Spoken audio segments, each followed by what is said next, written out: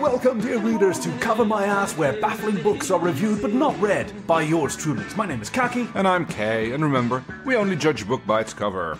and we find ourselves once more amid the towering stacks of your library, and I'm very excited to be here with you today on the cusp of. I mean, it's been bear season for a while. Yeah, it's almost over, actually. You gotta hurry up. I've got, I've got until November, and it's now. Uh-huh.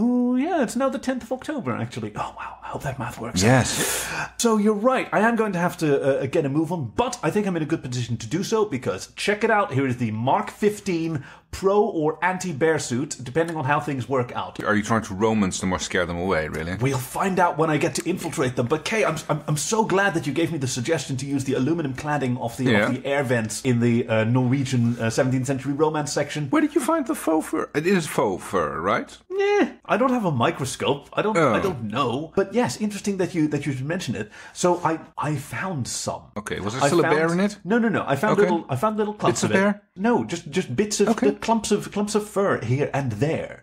So I don't know if it's bear fur. I'm gonna guess so. I mean, you've never told me about any other furry animals in in the library. Other than the librarianess, but she's white and they're definitely not matching exactly, this. Yeah. exactly. I've just sort of stuck it on hither, thither, and yon. Yes. Um, because I it thought does bear- look a bit like a patchwork bear, or Yes, mangy no, is the word that comes to mind. But that's from an aesthetic viewpoint. I, I don't want to disp- I don't want to like diss your beautiful creation here. So please, please tell me a little bit more about it. Why Mark 15? What happened through? I mean, last time we were on Mark 3. What happened to the last 11? Who's keeping count? I mean, certainly not uh, me. No, you're right. You're right. Of course.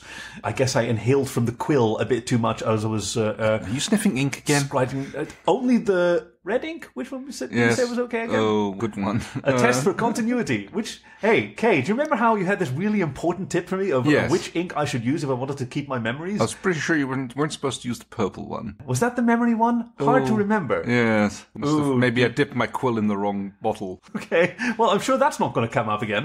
Uh, so I, I, I think I'm doing okay. Your point is well taken because I do look like a bit of a an unhealthy bear. Yes.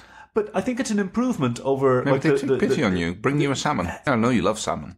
I do, although I also like mackerel. Mm. Oh, mackerel's very good. Uh, Yeah, I think mackerel's a working man's fish. A bit of smoked mackerel. Mm, well, it's very fatty, so I, I, I try to go with trout myself. It's Ah, all yes, you gave that as a tip. Same Oh, flavor and half the amount of calories. So, as this conversation points out, Mm-hmm. I think I already have a lot in common with bears. So that now I'm equipped with an anti or pro bear suit that is capable of withstanding their hmm, probing nips and uh, uh, and claws and, and, and shoves. I Yeah. like to, to, to roughhouse, and they are, they are big, strong creatures.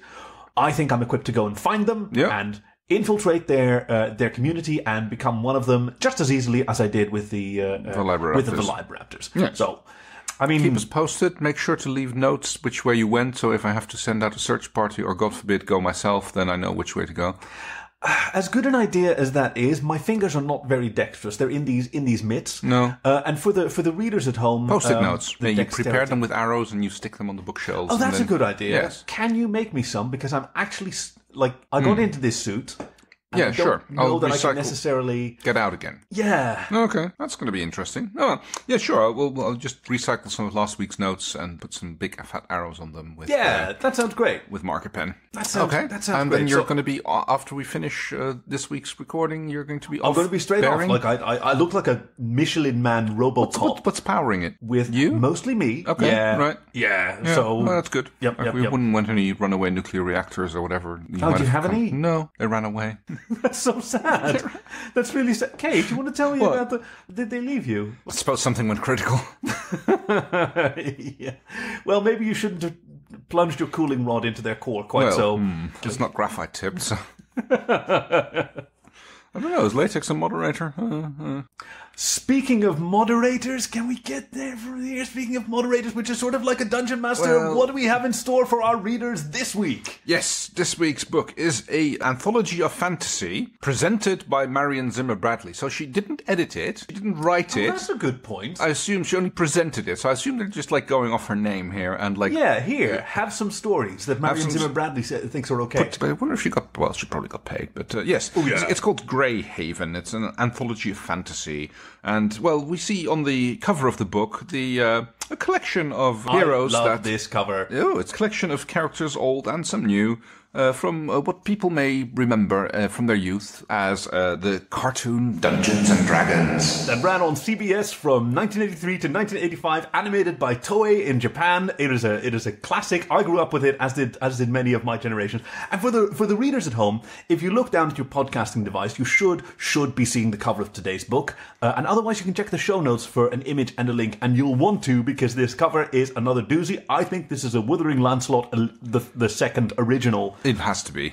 Our It's, uh, favorite imaginary book cover artist. it shows all the famous characters. Well, not all of them actually. Some of the uh, characters from the book. You've got And they, the and they have changed a little the bit. unicorn who is grown a little bit older, not for much bigger though. I mean, he's clearly older than a, a little colticorn. Is that what you call him? oh, that's nice. Um, back a in little, the a original. yearling foal. Yes, still about the same size, but definitely more older and wizened. And he's got the Pai Mei chin beard going on. Yes. He's got the sort of Fu Manchu. It's more of a goatee, I think. Might- uh, Honestly, like just looking at the at the at the face structure, it's a goat. it's a goat with a dildo in its head, well, right? more like a corkscrew, but yeah. Like a But narwhal that's that's horn. what. Yeah, but the little thing. little uni. It always sounded a little bit like meh. And it had the Yeah, little it had the, the sweet little bleat. unoffensive little horn on top, which did magic, didn't it? Do You know, my memories of that period are hazy, as are many of my memories of the of the period before my arrival in your uh, uh, wondrous library, uh, which is something that I have in common with the characters in this book and the and the and, and the cartoon that preceded it. Uh, I think the guy on the right is not the dungeon master who has grown remarkably taller. I think that is actual uh,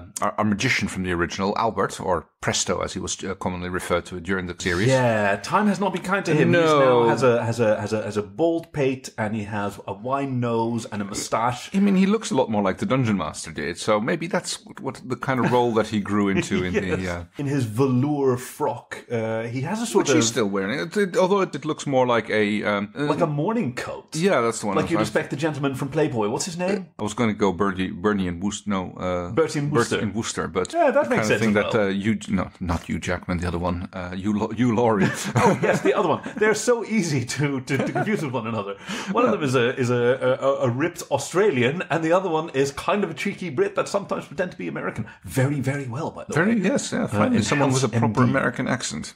Well, that's the thing, as we've talked about before. Yes. When you do a foreign accent, do a specific foreign accent. And in his case, like he went for a Nebraskan accent, a North Nebraskan accent that Yeah. he that he absolutely nailed. But yeah, I think that's that that is indeed Presto, who I think his original name was like Albert, Albert. or Albert, Yes, Alfred. it was. Yeah, but he uh, uh, he was a precocious little uh, uh, magician even as a as a child. Who couldn't really do well. I mean, he's the one that he came out most with, the lasso, and he always had to pull it out of the hat or something like that. Oh yeah, yeah. Uh, he was, he was a bit of an ineffectual magician, as I recall.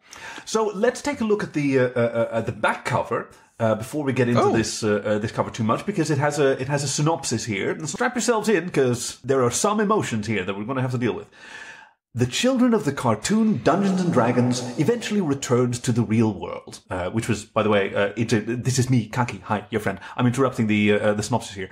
Um, that did not occur in the cartoon. There was an unproduced final episode that would have seen the villain Venger uh, redeemed and revealed as the Dungeon Master's estranged son, and Whom we whom we can actually see on on the front cover as well. You can see him standing in the background. He's still got his black wings, but other than that, he is now known as Venger the White, as you will see later in the. uh, yes, yeah. So that's a very good one. He looks a bit like Sting now, but rather than I was going the- to say Bowie in his Yeah. like Aladdin sane face. uh, Yeah, if you I- if you imagine him like wiping the, the stars off his face. Yes, I can see that. It's- Either that or Tilda Swinton. Anyway, uh, the children of the cartoon Dungeons and Dragons eventually returned to the real world, but each fled back to this magical realm to reclaim their wondrous magical destinies and hide from their regrets, debts, and arrest warrants. But there is no escaping the realm of Dungeons and Dragons. yes, Do you like how I did that? you carry it very well. Thank Uh, you. It's uh, yes. Thank you. I wonder if the editing gods will be kind enough to give me a little reverb on that one. We'll see. Oh, I'm sure you can manage. So yeah, it's interesting that you that you point out uh, uh, Avenger straight away because the one that, that jumped out at me was uh, Bobby the Barbarian. Ah, yes. Originally the little kid, but he's now a, a big, strapping, hulking, bearded gentleman. Yes, known as Bobby Brasstits.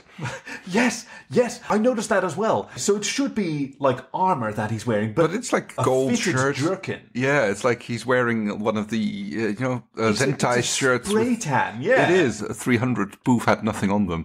with the, I mean, it looks like it's a uh, hammered bronze breastplate, but it fits like spandex. Oh yeah, and it's got a it's even got an underwire under the pec. Like look Oh. at the, the the enormous shadow that his his massive pectoral muscle uh, uh, uh, uh, casts, and he's uh, uh, he's wearing a Muscle gut is being uh, hidden by the, the lady in green. Now, who do we think that that is? Um, uh, well, I would think that is uh, that's uh, Sheila, but uh, unless unless the- Diana had a uh, Michael Jackson episode. That's correct. Uh, yes, Sheila, the uh, uh, the thief, who is seen here with a uh, with a circlet on her head and a, and, a- and a green gown and a knife at her waist, and some children by her side, holding an orb that displays what looks like just a regular house, an, an, an I would assume modern. that's the the portal back home, that Oh, do you know what the original portal was? carnival ride. Yeah, it was a roller coaster. Yeah, but I can't remember how they ever came back or whatever exactly happened there. Well, exactly, because in the cartoon they never they never did come back Oh, because no. that, that final Yeah. episode was never uh, was never produced. But they, they did eventually make it out. But now at least some of them that we see here on the cover have uh, have returned. The last one on the left.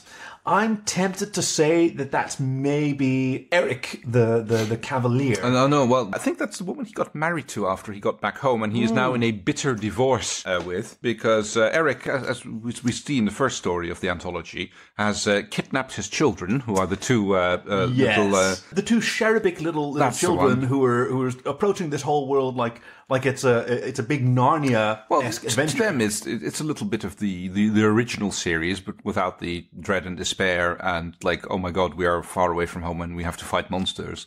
And Yeah. uh, Eric still has his protective shield. Oh yes, that's right, because they all had special weapons. Like Yes, everyone had their special thing. Hank the Ranger had his uh, had his Bow. bow and that could shoot magical light arrows, and of course Presto had his hat. Diana, she probably had a. a Uh, she had the staff, yeah, yeah, Yeah, the, that's the, right. the, the, glowy staff. Uh, I can't See, remember. I- I'm surprised how much I can't remember, remember what. Sheila had. Uh, the uh, the thief.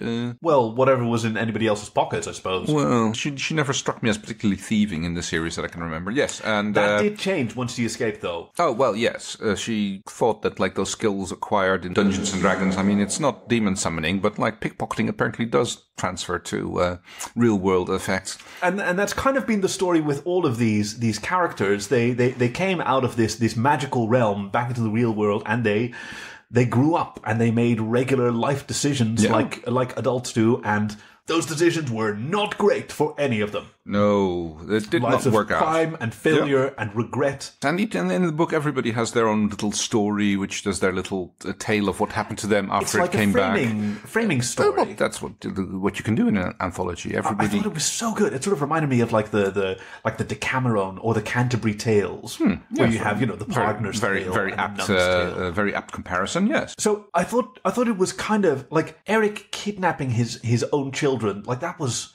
I mean, that was really dark, and this was a very dark show to begin with. Like, there's, Yes. a, there's an episode of this cartoon program for children um, where the, the, the characters contemplate suicide. There, there had to be a warning. Uh, oh, this was fantastic! On American television, there was a there was a warning aired before every episode, indicating that Dungeons and Dragons, playing Dungeons and Dragons, Ah, had yes. Been associated with real life violence, which was. I mean, it was a bit early for the, the Satanism fear in the in the 1990s, No, was- right? Oh well, it was definitely fueled by that. 90s Yeah, thing? but remember, Dungeons and Dragons in popular culture already goes back to eighty something in ET when right at the beginning, there uh, the kids are playing. Oh, that's Yeah, and right. the, the the the boy Elliot, I think his name is, wants to join his big brother's uh, game, and I, I guess at that point he didn't have the scare and like, oh, children will learn how to summon demons and Yes, cast spells exactly. and all kind of bullshit. And like, like I mean, I wish. If man. only, It's like, if yeah, if only. only. It's like. I've, I've painted all the figurines. I've done the dance. Where's my hunky demon? Uh, I recently read there was a, a there was a, a a big big long expose about the legendary origins of Dungeons and Dragons and how the uh, Gary Gygax turning miniature warfare into uh, a fantasy thing? so goes the legend. There are survivors of that era who tell a more nuanced story, who Hmm? um, paint Gygax as certainly crucial, but there are other crucial figures in this evolution Oh, well, as yes. well, crediting him with perhaps the commercialization, but also with the, the elimination of all these other players Oh. from the legend. Oh, of there its- was, uh, and, and is no longer with us. Back, no, no, no, he died. Yeah. there's actually a very funny cartoon about that, uh, where it's like you seeing uh, uh, uh, Death in his cowl and everything, sitting there playing uh, in front of a guy who's like across the table from him with a DM screen and everything, and uh, Death is on his phone and he's talking. Yes, yeah, you know about that game? Yeah. Yeah, we've been going for seven hours now, and you just brought out another book. this is going to take a while. a fantastic reference to the oh, I think the Ingmar Bergman film. Um, where where a, a gentleman plays chess with death to postpone his uh, his seizure. Oh, which was also lampooned in one of the final episodes of Lexx, the bizarre Canadian German science fiction series. I only all of season one and most of season two. I think kind of dropped out of that. But please, please go on. What- Also, all the seasons were very different. Like the first, Yeah. the first season was four television movies, hmm? and they were full of like sex and oppression. It was and amazing. cannibalism It was and fantastic. Drugs. It was Yeah. just fucking wild and gonzo. Then the second season was lower budget, but there was a lot more of them, and continued the trend that anywhere that our heroes visit is destroyed after Yes. they leave, either because of or in spite of their their the one efforts. with Rutger Hauer in on the planet of the body part gambling thing. Was that the first No, season? Rutger Hauer was in the in the first season. Was that still was the first the, season? Yeah, it was in Oh, the second gee. or third episode. Was Yeah. eating pattern Yes. with the with the That's the drugs one, where he yes. played Bog and he and he sang the song and oh what a fantastic! He had like these amazing actors. You had, you had Ellen Dubin and uh, uh, Malcolm McDowell, and you had your chap from two people from uh, uh, uh, Rocky Horror. Yes. one of them them's Tim Curry. That's the one, That's yeah. definitely one of them. was, was the guy who got left alone when everybody else left the planet because it was doomed was or something. Yes, Yeah. and he was just like left because he was drunk and like sleeping off his hangover, I think. And then they went And then woke woke up up, on an abandoned and everybody'd left. Yes, And the other one was Brad from Brad and Janet from, uh, from Oh, Rocky, also from Rocky Horror. Horror, yes. And he played Thodin, the uh, Oh, skirt it was him. wearing. Yeah, Oh, that's wow. him. He looked pretty hunky, and uh, Thodin was pretty like Right? yeah. Certainly with that vest and the and, the, and, the, and the frilly skirt and his and his presumably boyfriend lover. I mean, they were they were kind of close when they There uh, was, and when they, yeah, when they had the whole uh, resistance movement thing against his, his merciful divine shadow, shadow, his the merciful League of. Twenty Thousand Planets. Season three was also wild because that takes place on uh, uh, a pair of planets. One of them's fire and one of them's water, and it's really kind of intense. And then the fourth season is Gonzo again. It takes place on this on this bizarre cartoonesque version of Earth. But yes, it, it, it, it one of the final episodes sees uh, Kai Last of the Brunnen-G. Wow, welcome to the uh, Lexx fancast, ladies Yes. and gentlemen. Uh, You seem to have made a bit of a segue. playing playing chess against death and. I recognize this game because it's called the Immortal I Game. I think you've told me about this. yes. I have indeed. It is, it is a beautiful game. It was played in the late 1800s. White immediately dominates and then is, is, is crucially undermined by black and obliterated until finally White manages to queen a pawn that it had been concealing this whole time, had been quietly maneuvering it away, sacrificing almost its entire army until now it has a queen, and then two more moves into checkmate. It's gorgeous. Yeah. That's not something that you can do with Dungeons and Dragons. I'm describing this cartoon. Oh, this Well, you know, a good DM hopes to think that he can do that. It's like, okay, you guys walk up to the warehouse, and one of the players goes like, "Oh, does that mean it's only a house by full moon?" And he was furiously scribbling in his notes, "It's now." yes, that's right. Correct. It has always been. But yes, that idea of spinning a new tale, like that is the central theme of this anthology of stories, Greyhaven. All of these, all of these people who have come to a point in their regular real world lives that they just no longer want to deal with. yeah. And rather than face those consequences, they want to escape into this into this fantasy realm where they can be a ranger and an, a, an acrobat and a thief and a barbarian and a, and a, Yep. and a cavalier and a magician and uh, I guess a little unicorn. Well, the unicorn was from the world, you know. That was just like their little local companion, their little. Avi, avi, mommy, mommy, ooh, yeah, ooh, oonie, oonie. What are you doing I right was just now? like doing weird sounds. what kind of sounds were those? Are those unicorn sounds? Is that That's what you? kind of the sounds that little critter was. It was just bleating like the goat thing that's on the cover Bad. here. Yeah, That's- that's, that one. was that was Uni's sound. Yeah. Let's, let's do yours again. Oh well. no, I want to hear yours. Oh, hey, hey, hey, what do you know? Hey, boo, jibbity, boo.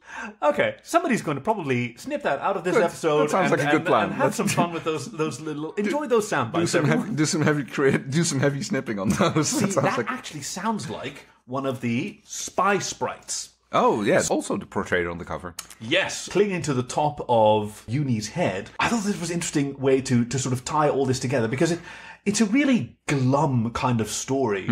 That that all of these people uh, uh, have returned here not to pursue some great quest or to liberate anyone, but simply to escape from the consequences of their own poor decisions. But consequences will always catch up with you in the form of Interdimpol, the interdimensional police force. Turns out the long arm of the law can actually reach through this portal and into this new realm, Yeah. which has an extradition treaty with Earth. I'm not quite sure how that got worded into it. Like, must have been one of Gygax's legal uh, requirements that he wrote into the later uh, versions of the He uh, liked game. his sharpies. He liked to correct little little uh, uh, contracts and, and, and requirements, even though they've all got these new identities now that they've returned to the realm of Dungeons and Dragons. Interdimpol is hot on their trail, uh, and they're surrounded by deep cover IRS accountants. Yes, it was uh, uh, Presto the magician who, uh, after he came back to uh, Earth, was one of the founders of Scruff. Uh, you know the, uh, the, the the gay dating app. Ah, yes. Uh, and Yes, unfortunately, that's right. unfortunately, he uh,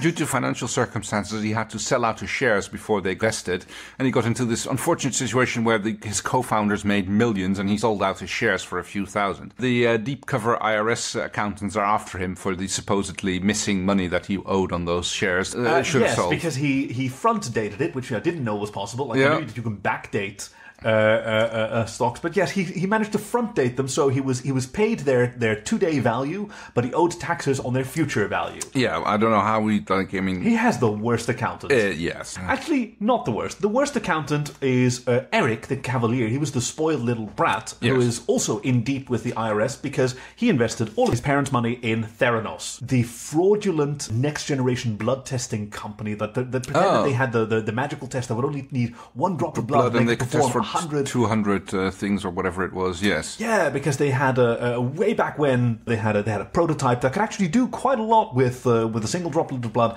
and then later on it transpired that was all it would ever be able to do. The, the whole technology could never move forward. It would still need pints and pints of blood. It would still be incredibly expensive, but they concealed this fact from all their investors, from governments. Uh, uh, Theranos was this enormously hyped company. yeah, everybody wanted to buy into that. As did Eric the Cavalier, who uh, inherited his family's wealth Yep. uh, and sank it all into Theranos and sank along with. Yes, he figured like back to the world of Dungeons and Dragons where I had my shield, which protects me from anything, And hopefully also from which the, was uh, pretty much the only thing he did. It's like bitch about things and then stand in front of usually the dragon when it was breathing fire again to shield the party with his shield. well to shield himself, and the party happens to be behind him, everybody had their one thing that they did, and, and they did all the time. uh, yes, And as a as a narrative device, like having someone who's entitled and complains a lot is actually kind of a good way to establish what the stakes are of a scene because he'll just repeat them. True, and kind of worked in the story that he was he was the one who was always bitching and always going going on about things, but he was also the one who could protect them from anything. Thematically speaking, I guess that works. Apparently, can't protect them from the uh, uh, the deep cover IRS agents who could be anywhere. And his no, th- uh, they, they form a bit of the backbone running through all of these uh, different stories in this book. even though not all of these characters are being pursued over over money, there is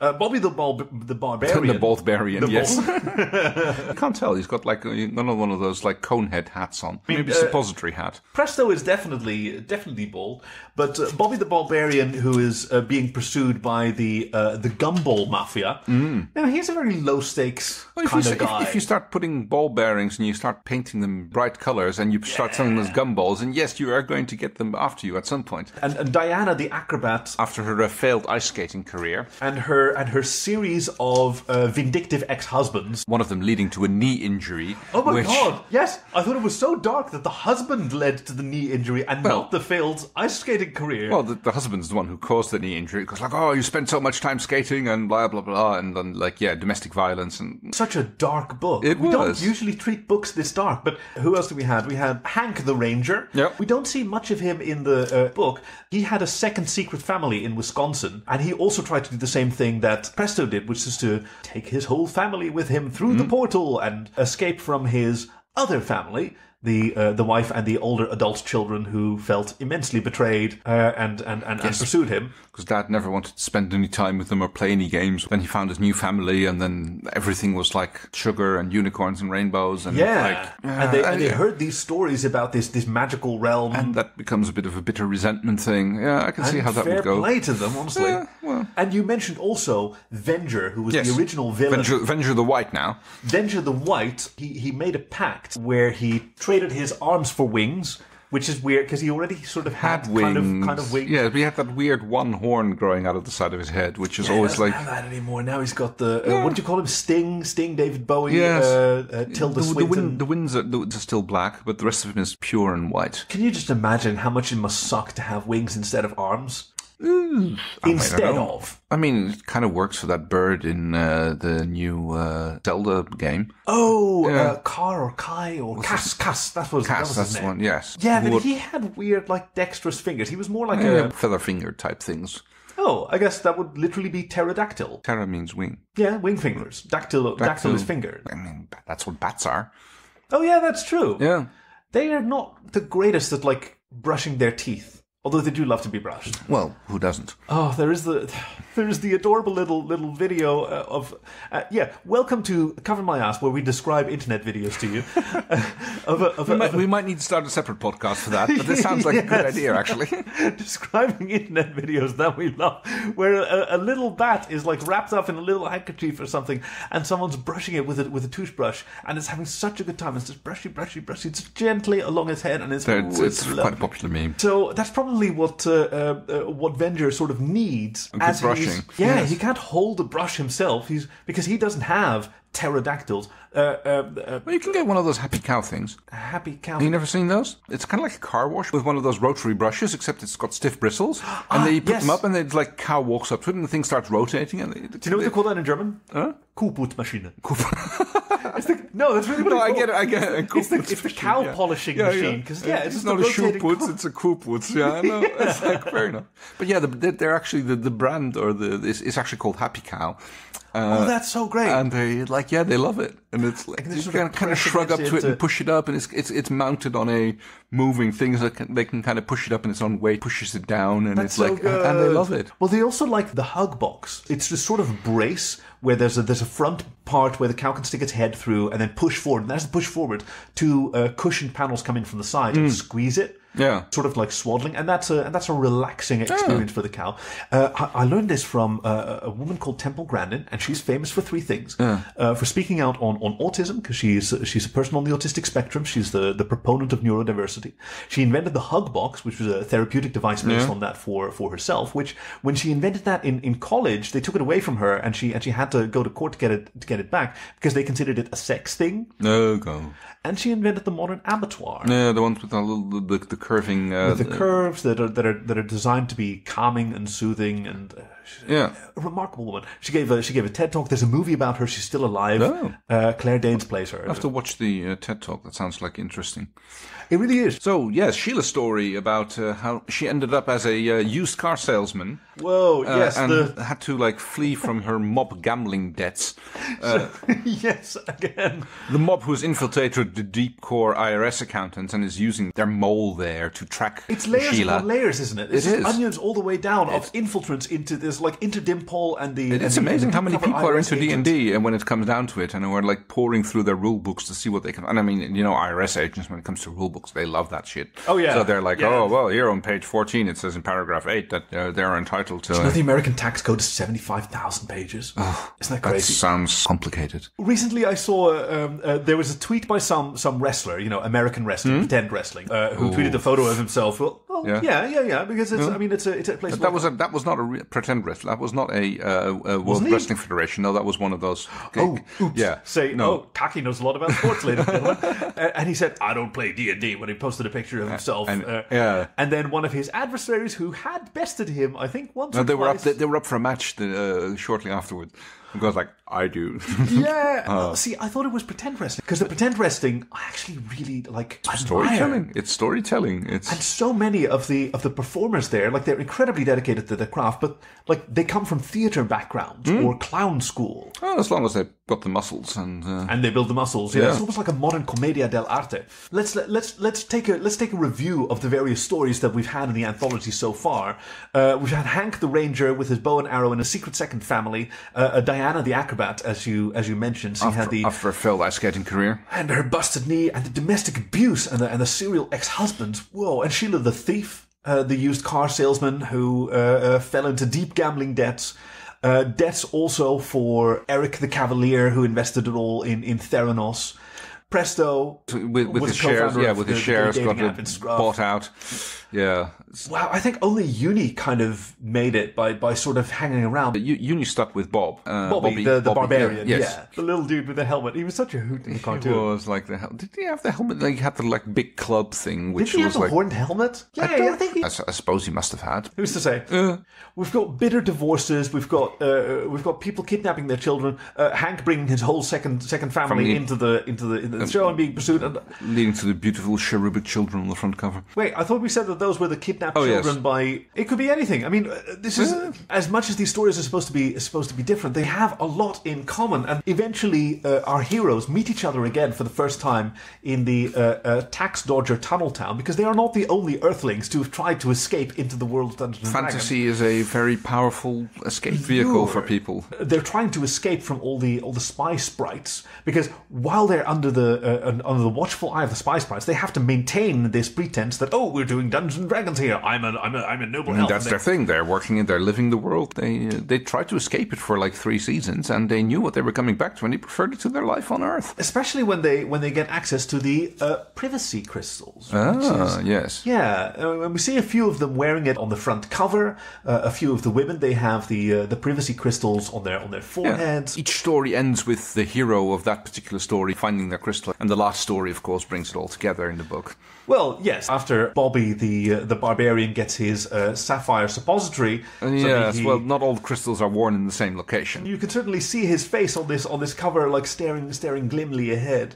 Um, where eventually they all, and we usually deal with upbeat books, right? Hmm. So for a book to end in, in such a grim fashion, where they uh, they find peace from the IRS and the long arm of uh, Doomhole, yeah. uh, only by entering the employ of the nar- narco alchemist, the narc alchemist. The, he's basically Yeah. a drugs wizard. Well, there's a reason Avenger the White's wings are still black. It's like yeah, he's got the hookup. his hands, wings in this case, are tainted by the the work that he has to do uh, do with them, and the mind is willing, but the flesh is weak, I suppose. Oh, because yeah. he's like become this force of good, but he sees that in order to be this good thing, he has to meddle in dirty affairs, which is the reason why his wings are still black. Wow, what a great book! Yeah, this book is it, it's full of such symbolism. It, it might be a bit of a prophetic book when it comes to that, like how the Oh, yeah. everybody is constantly watched by uh, the powers that be. I mean, back, back when this book was written, Google wasn't a thing yet, so I guess the, No, the various true. authors decided that oh, we're going to go with the other almighty powerful th- entity, which in the U.S., which is the IRS. Yeah, Uh, so let's let's use them as a metaphor for the for, for these dark times. and dark times throughout. Like the whole book is is so grim, and even the ending. So they finally escape this fantasy world where they were trying to save the world from the, the forces of evil and misunderstanding and discord. Made it back into the real world where they fucked up their lives, and now they're back Fled in back this- into fantasy. in the employ of this anarcho narco alchemist. Yeah, and someone has to make all those potions and That has to do true. I mean, gather the like- ingredients and grind up the pixies to get the dust. Oh wow, yeah. Well, you know, pixie dust, it has to come from somewhere. It's, it's not spanking little pixies like you see Disney doing. No, no, it's ground them into a powder. okay, well, I guess we know that the episode is called "Spanking the Pixie" now. well, there we go. You're welcome. Uh, thank you for naming this episode once we went, well, hey, how are we going to rate this book? Because it's not in our habit to, to be down on this book, but No, I found it so grueling. I would like to rate it on the most underappreciated die in the D&D spectrum, which has to be the D12. Why is that the most Because- underappreciated? The, the dodecahedron, yeah. Yes, nobody uses it. It's like it's the the only thing. It, is it it- there is a few wep- rare weapons which like have a D12 damage. I think the barbarian has it as a hit die, and that is pretty much it. Nothing uses the D12. So I'd like to rate it out of 12. Now, I've got to say, I like the dodecahedron. I think it's a lovely shape. is. I, I'm always glad when I encounter a D12, but you're right. I don't think I've ever rolled one. D4, I've even They're rolled like the, caltrop of I know. the dice. It's like you think stepping on a Lego brick is bad. Try stepping on a D4 in the middle of the night. So, out of out of 12, how would you rate this book? Ooh, I will give it a nine, so more than a solid eight. It was a bit of a downer, not, a bit, bit unlike the books we usually on do, here. especially for a book that Marion Zimmer Bradley didn't write a word in other than the foreword. What do we have in store for our ah, readers next week? Next week is a bit of a classic, although not many people have heard of it. It's called Fart Proudly. It's the writings of Benjamin Franklin's you never read in school. Covered Thank you for joining us at Cover My Ass, where baffling books are reviewed but not read by yours truly. My name is Khaki. And I'm Kay, and remember, we only judge a book by, its, cover. Good. Oh, I want to play Dungeons and Dragons now.